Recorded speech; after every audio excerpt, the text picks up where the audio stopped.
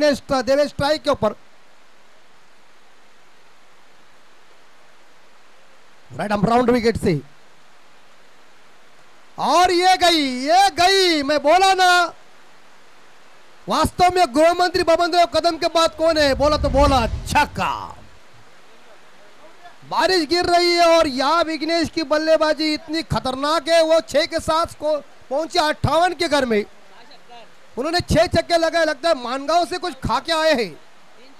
तीन चौवे हैं। और मुझे लग रहा है कि उनका बल्ला जो है, इस बारिश में और गर्म हो चुका है। और यह भी छक्का है, ये सामने छक्का है। इस बार धाए बाय गोलीबार हो रहा है और चारों दिशाओं में एक ही नाम हो रहा है। इस बार देखा है जावटे के देवेश, और देवेश के इस बार देखा जाए छक्के के साथ स्कोर।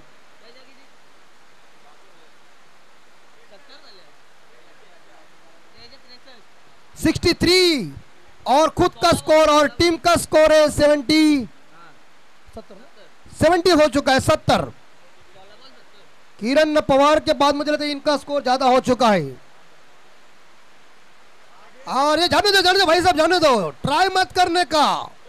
मैं यहाँ से बताता हूँ ना। खिल खिल चंपा। खुश हुए लंबा और देखो पेड़ लंबा। छके मारा खंबा, इसका शरीर देखो दुगड़े सब काँप रहा है।